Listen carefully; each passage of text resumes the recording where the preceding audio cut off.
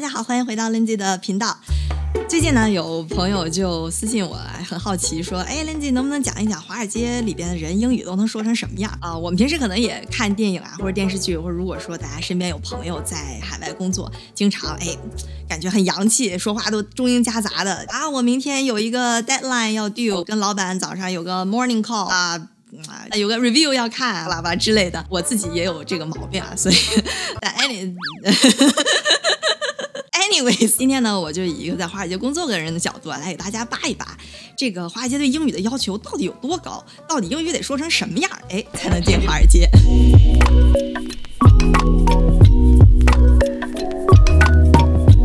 先简单说一下我自己情况啊，我是在国内读的本科，然后之后在纽约读了个研究生，然后毕业之后就开始在纽约 JP Morgan 的呃纽约办公室工作。我从小到大接受的就是非常非常正统的中国应试教育，所以什么听力啊、口语啊，大家也反正那个英语水平，大家这个几斤几两应该都差不多知道的。How are you? Fine, thanks. And you? I'm fine too. 然后我在美国读研究生的时候呢，其实我觉得我自己，这也是我觉得。工作之后，我发现最大的一个误区，就是因为我经常会觉得啊，我的发音是不是不是很标准，所以我就不太敢开口说话。但直到工作了一段时间之后，我才发现啊，原来根本不是那么回事儿。就我发现我们有一些都做的非常高层的这种 MD。啊，比如说有中国人，有印度人之类的，说话还是带着口音啊。比如说啊，idea 啊，idea，这个 interesting 啊，interesting，industry 啊，industry，发音和重音其实还是会有一些问题。而且在投行里面，其实各个国家的人都特别特别的多。比如说像我之前是在这个交易这一层，就 trading floor 上有很多很多法国人，包括我们曾有一些跟拉丁美洲对接，就这个 Latam L A T A M，比如说南美墨西哥这一块对接的，他们的母语是西班牙语，所以哎。这部分也是口音，当然还有广我们广大的中国同胞们，其实口音已经很轻了。再比如说像呃中后台或者是做 IT technology 这部分呢，就是哎我们非常熟悉的邻国印度朋友们。Instruments that record, analyze, summarize, organize, debate, and explain information that are illustrative, non-illustrative, hardbound。我们之前有 back office，就是后台就在印度，所以有的时候我们就要给他打电话说啊，我们今天有个什么 transaction，怎么怎么怎么怎么样，然后哎他就那你就你说是 pardon me。真的是就非常焦急，最后你就会很无奈的跟他说，Yeah，could you please send me an email？啊，然后他就跟你说，OK，就这样过一会儿就发个 email。我们曾有很很 MD 还是 I need a pen and paper。I need a pen and paper。就就大致是就 I'm very very happy。I'm very very happy。I agree I agree。I agree I agree。大概就是这样子，我没有任何。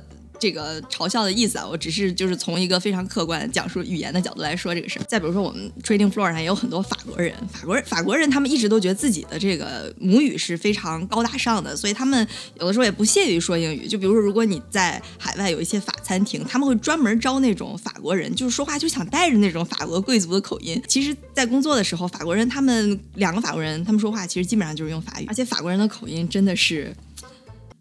还挺重的，呃，有时候他说，啊，I think my English is not fluent. It's not fluent. Not fluent. 法国人说话就非常的这个短小精悍，他。和中国人一样啊，就是 think，他会说 think，fluent 就是 fluent，然后他们经常就是比如说 t i o n 或者 s i o n 那种，我们经常在看一个这个资产组合的时候，要看它的风险敞口，就叫 exposure。法国人经常就说 s i p o y a n 就说的非常的法式，最后还一提往上一扬。I have worked for three years in human resource. After school, I went to India, looking for happiness. Sitting on the beach in Goa, I realized I have happiness. Of course. 口音真的是很重。有一次，有一个在伦敦办公室的法国 MD，一个很很高级别的人，然后就过来给我们讲一下最近的局势怎么，然后你就从头到尾坐在底下。我毫不夸张的说，真的是基本上完全什么也听不懂，你就以为他是在用法语在上面讲。然后包括有一些我们在伦敦办公室有一些这种呃苏格兰的同事，那口音，但这完全不影响他们交流，你知道吗？他们完全没有任何交流的障碍。就是你看一个法国人和一个英国人，尤其是口音比较重的一点靠北部的英英国人，他们俩说话。你在边上就像个傻子一样，他俩交流的特别顺畅。包括比如说印度人两个人嘚嘚嘚嘚嘚说，你就以为他们在说印度语，但其实他们就是在用英语很正常交流。所以我想说什么来着？啊，总体来讲就是想表达的是流利能说明白是最重要的。而且中国人的口音在所有的人群当中，真的已经算是非常非常非常轻了。所以我也觉得说，大家如果真的像我之前一样对自己发音有 concern，我觉得大可不必。而且真的，我发现就是当我意识到说啊，大家都口音都那么重，无所谓，我也破罐破摔了，我就真的敢开始说，开始练了之后，因为我同时还是有很多美国人呢，所以还是会受到比较好的影响。所以呢，正是当我有了这个改变之后，我才发现啊，口语会有一个非常非常突飞猛进的进展。虽然我们刚才说这个各个国家的口音五花八门、千奇百怪、五光十色，但其实整体对英语流利度的要求还是非常高的，尤其是比较偏前台的工作。我们说的前台呢，就是说一般是会去面对客户，来给公司直接产生收益的这样的部门。那如果说你要跟客户打交道的时候是要用英语说的，那这个对英语的要求就得非常非常高，因为你在外面就是公司的脸面嘛。如果说呃你口音太重的话，嗯、这个还是会有一定影响的。当然，如果说你的客户是比如说拉美洲的人，因为他们平时交流就用拉就用西班牙语，所以这就无所谓，用西班牙语、葡萄牙语。那如果说你的客户是亚洲人，那你该说哪国语就说哪国语就没有问题。当然，整个前台部门的中国人其实也是越来越多的。相对来讲，如果跟客户接触没有那么紧密的人，这个这些部门呢，英语的要求相对来讲就没有那么高。就比如说我们广大的中国同胞，现在在华尔街占领最大的一个呢，就是 quant quant 就是这种量化相关的职位，就需要比如说一些编程、数理知识。嗯，有开玩笑说量化的这个官方语言是 Chinese 跟 Python，真的很真实。你平时看他们就编程就是用 Python，然后跟同事聊天都大家都是中国人嘛，所以就直接说中文，吃中餐，聊中国的综艺，就一片祥和。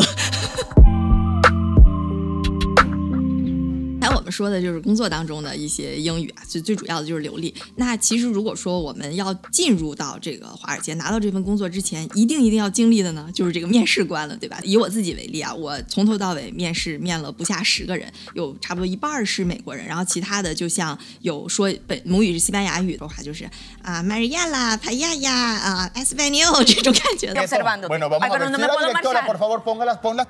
然后还有像一些，比如说东欧的人、印度人，就五花八他们的口音都有吧。所以呢，其实我觉得在面试过程当中最难的、最难的就是听力，因为我自己要准备那些内容，当然不是说自己准备那些内容就不难，那些是我们比较可控的，是可以能提前去准备的。但是你不知道对面那个人他说话是个什么口音，那这时候就比较麻烦了。我记得我。在面试的时候，最最害怕的就是电话面试，特别特别担心对面如果是一个印度人，我听不懂他说话，然后我一遍一遍，你你说你听不懂的时候，你不敢乱说，乱说万一说话说不在点上，人以为你脑子不好。但是呢，你又不能一个劲儿老问人家说哦，Pardon me，Can you repeat it？Can say it again？就感觉自己好像怎么感觉老听不懂人说话，就觉得很傻。所以我觉得其实听力这真的真的是很难的地方。之前就有呃外国朋友跟我说，感觉中国人说话怎么有点也不看人，就感觉好像不太高兴，然后有点儿嗯没有礼貌。我觉得其实我们都知道，我们中华民族是。最最讲礼貌的民族，从小就是被这么教大的。包括我们用中文说话，那肯定是非常非常客气。但有的时候我们在用英语说的时候，满脑子就想着这话该怎么说，所以可能最后从嘴里吐露出来就变成一个 yes 或者 no 了。比如说，如果我们去一个中餐馆，就还没讲呢，就自己先乐了。我们去个中餐馆儿，呃，然后你问那个店主说葱花面里能不能不放葱，店主就可能跟你说 no。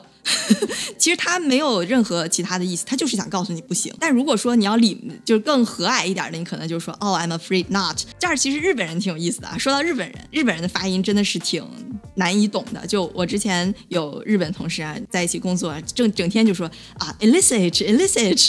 我听了一个礼拜，我都不知道在说什么。当然他不是跟我说话，所以也就开始就无所谓了。这后来我就问他，我说，哎，他到底说什么？他说啊、原来是 LCH，就是 LCH，就是 London Clearing House。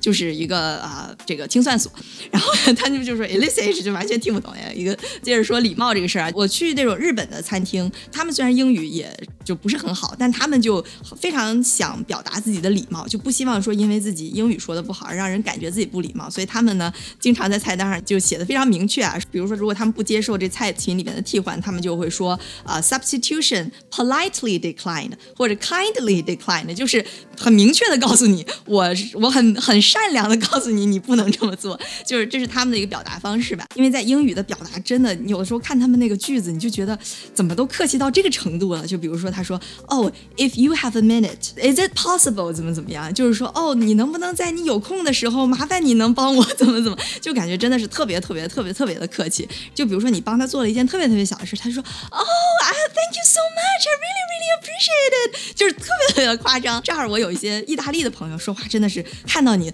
老远两米远，哦，Lindsay，nice to meet you，so good to see you，就那老远把你吓一跳。我觉得其实不是语言的问题，真的就是每个民族的文化不一样，所以其实这就是呃呃我的一点感受吧。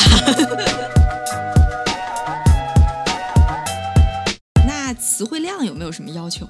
因为我们受的教育从小到大学英语约等于背单词儿，词汇量多，很多情况下就会被认为是英语好。我我我在录这段视频之前，我真的去翻了一下那个 GRE 的词汇表，我发现其实。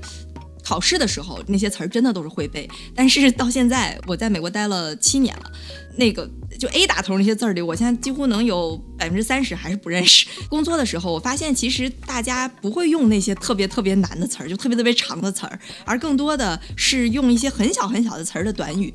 就比如说说两个人谈话，他不会跟你说说哦，I wanna have a conversation with you，他就会说呃，Do you have a minute to catch up？你有没有一分钟？我们俩就是说聊一聊。catch up 就是追上你嘛，就我们俩聊一聊。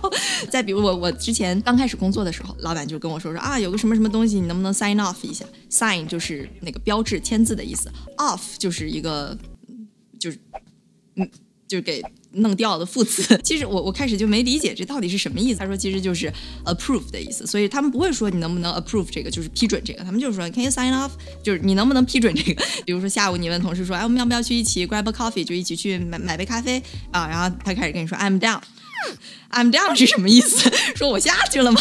不是，它其实就是说好的意思。所以就是很多很多日常生活中用的小词儿吧。一开始你可能都不太习惯，然后慢慢慢慢你就发现，其实他们用的很多就三四个字儿的小词儿拼在一起就那么用。所以我觉得，如果说是这种日常或者工作交流的话，大家如果想啊多了解这方面，其实可以看看美剧，尤其是那种比较都市生活的美剧啊，我觉得是会非常非常有帮助。当然，很多朋友会看这个《Game of Thrones》，就是呃中文叫什么？